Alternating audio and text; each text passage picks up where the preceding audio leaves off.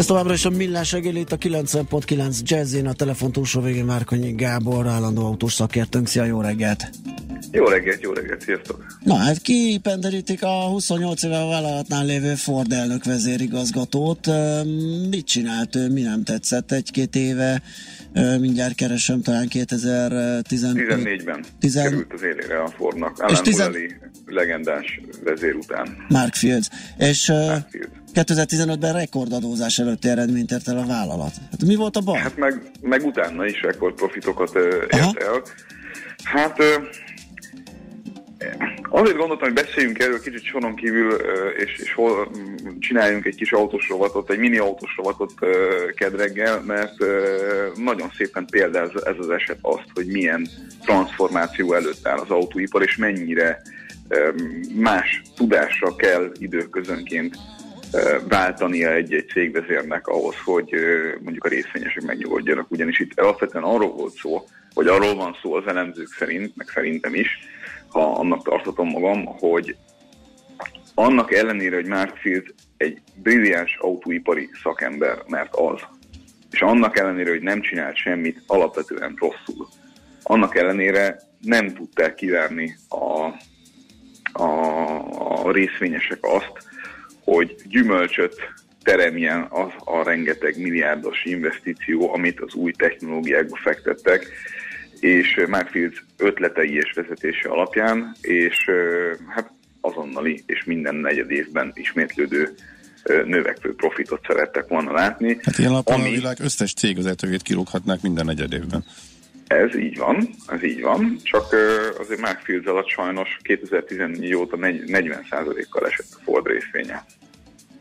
Uh-huh. És ugye ezt sokszor próbáltam nektek érzékletesen magyarázni több példán keresztül, hogy tényleg egy olyan helyzetben van az autóipar, hogy nagyon nem lehet tudni, hogy melyik sok milliárdos investíció fogja e, megbosszulni magát, és melyik sok milliárdos investíció fog rövid távon, vagy legalább középtávon látható módon valami fajta új alapot rakni a, a cég üzleti modelljében.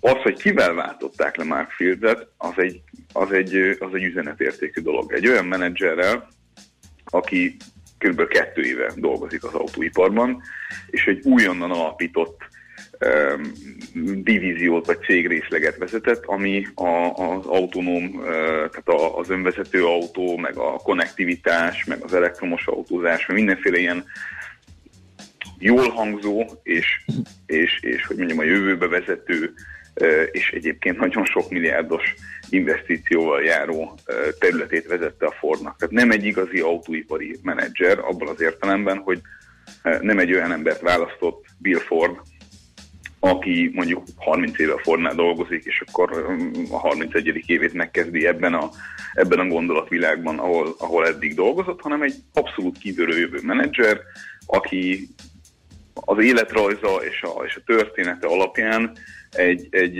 egy olyan gondolkodó, aki, aki valódi innovációt uh, hozott eddig minden olyan helyén, ahol dolgozott. Tehát olyan innovációt, amivel gyökeresen változtatták meg a cég struktúráját.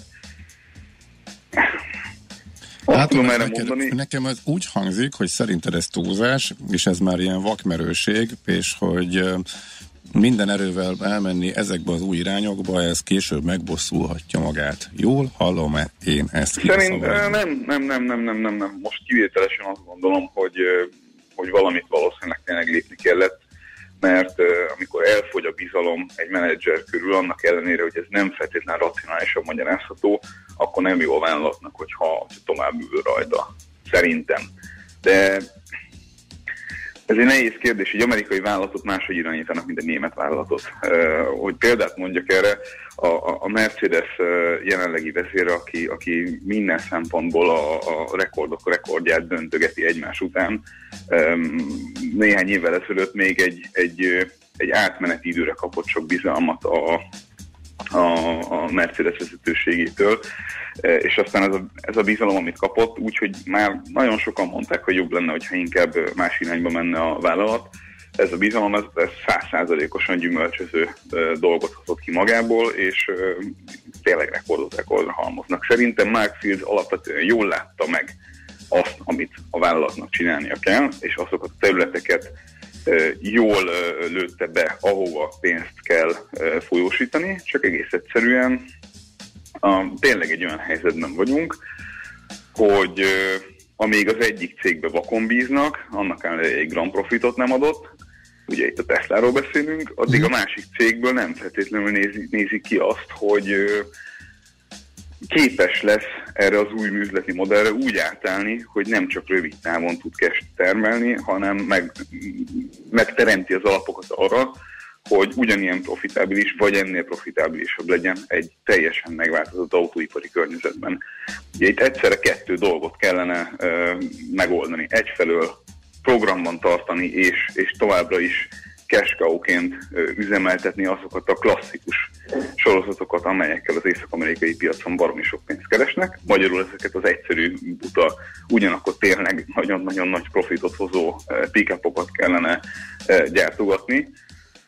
Rögtön ugrásra készen megfeszült izommal várva azt, hogy mi történik, hogyha ha jelentős változás van a piacon, és minden mellett a, a mindenféle carsharinggel, meg, meg új mobilitási koncepciókkal, meg elektromos hajtással, meg egyéb ilyen, ilyen nehezen kezelhető és egyáltalán nem egyértelmű irányokat vevő üzleti területekkel készen állni arra tényleg, hogy, hogy ha jelentős transformáció történik, akkor nem maradjanak le erről az mm. egész ügymenetről. És egyébként ebben a Ford, meg kell mondjam, hogy jobban áll, mint a többiek. Tehát mm. ők hamarabb ismertek fel egy csomó mindent, és sokkal hamarabb kezdtek ebbe investálni. Ugye azt ja, sokszor láttuk, hogy so, sok iparágban az, hogy az első vagy, vagy, vagy, vagy az első közötti vagy, az nem garancia arra, hogy sikeres leszel uh-huh. abban a dologban. De itt, hogyha megnézzük az elmúlt, kimondottan csak az elmúlt egy évnek az eredményeit, azért többször elmaradt a várakozásoktól, és igazából a Wall Street-et, meg a részvényeseket valamira nem érdekli más sokszor. Tehát, hogyha csak azt nézzük, hogy... Csak... De nem békeidő van. Igen, hát meg igen. Tehát egy olyan, pont egy ilyen transformációs környezet, amikor el kell dönteni, mi az irány, és hova tenni a beruházásokra szánt pénzt, mennyit érdemes akkor elkölteni ezekre az új dolgokra.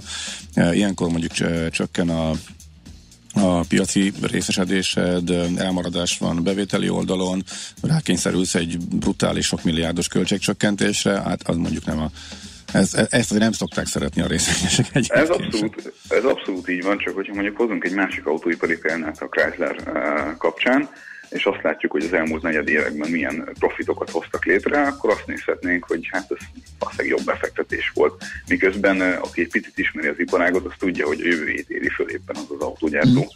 Mm. Mert csak költségcsökkentésből, meg csak buta autók, tehát régi technikájú pickupok és hasonló dolgoknak a gyártásából nem fogunk előre menni. Tehát az nem egy, nem egy üzleti vízió, hogy préseljük ki addig azt, amink van, ameddig ad egy gram tejet, vagy egy csepp tejet, aztán majd meglátjuk, hogy mi fog történni, de lehetőleg sózzuk rá magunkat valaki másra. Ugye ez a, uh-huh. röviden elmondva, ez a Fiat Chryslernek a stratégiája, e, ez így, ez így nem fog menni. Ugyanakkor profitban az elmúlt szerintem két évben tendenciózusan többet hozott ki részvény alapon a, a, a, a cég. Tehát van ebben némi ilyen érzelmi kérdés is. Oké, okay, hát meglátjuk.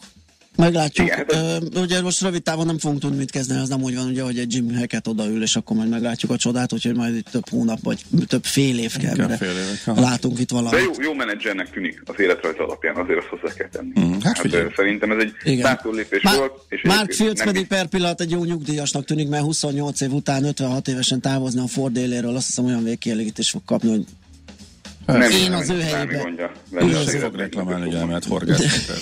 Biztos, hogy nem. Vagy majd látjuk egy másik cégnél. Ezen hát az is lehet, az is lehet. Igen. Ez itt nagy dilemma. Még mindig csak 56 éves. Igen, igen. elég, hogyha csak igazgatósági helyet kap ötöt, és Persze. akkor kezdve nincs probléma. Bejár, bemegy a bordülésre, aztán valamit Két havonta egyszer elplattyog, aztán igen. markolja a zsátont, ahogy kell. Gábor, köszönjük szépen ezt a friss szakértést, akkor csütörtökön folytatjuk. Jó munkát, szép napot.